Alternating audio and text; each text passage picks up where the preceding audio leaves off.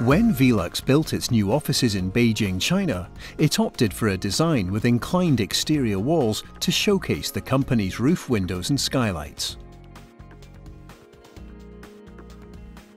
The building uses a highly energy efficient thermal mass heating and cooling system to create a comfortable work environment.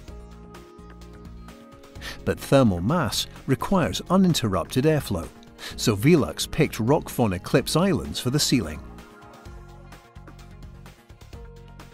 Because they're suspended below the soffit, they provide the air circulation needed by the thermal mass, while also reflecting the natural light from windows throughout the building.